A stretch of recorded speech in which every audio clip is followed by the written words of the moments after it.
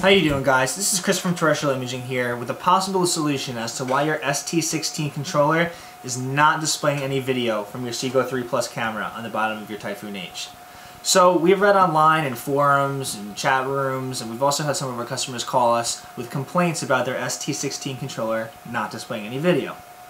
So the solution that I'm about to present really only pertains to people that have a limp or lifeless CGO3 Plus camera.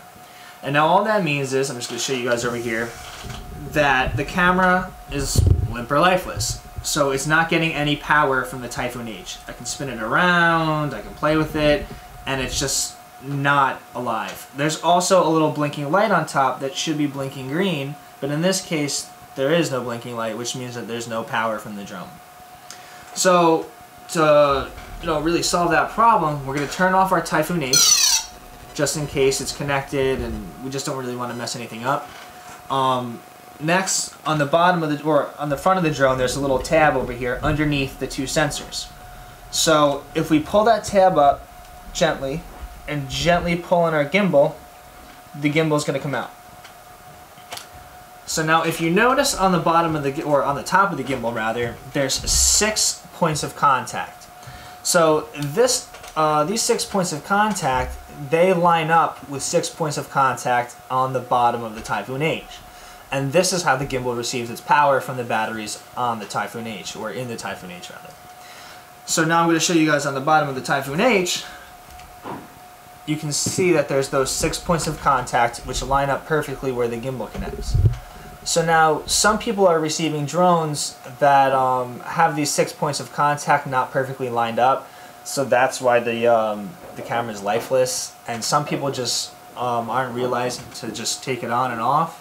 Um, and instead they're sending their Typhoon H's back and they're unhappy. But um, hopefully this is a quick and simple solution for you guys. So um, I'm going to turn my Typhoon H around and put the gimbal back on. And now putting the gimbal on can sometimes be a little bit of a frustrating process. But you just want to make sure you're careful and that you line everything up and that everything fits perfectly in the slots that it's supposed to. So once you have those lined up, just push your gimbal in carefully, tilt your um, aircraft back up, and now we're going to power it back on.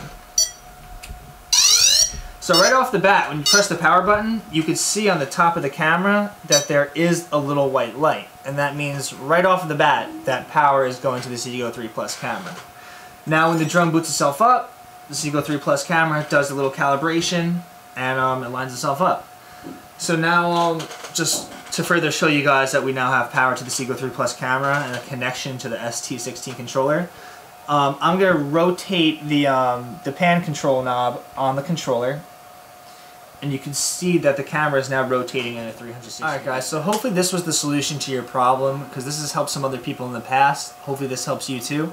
Um, if you look at our ST16 controller, you'll see that we now have video displayed and an established connection to our CGO3 Plus camera. So, just leave any comments or questions in the boxes below guys if you have anything to say, and thank you so much for watching and have a good one.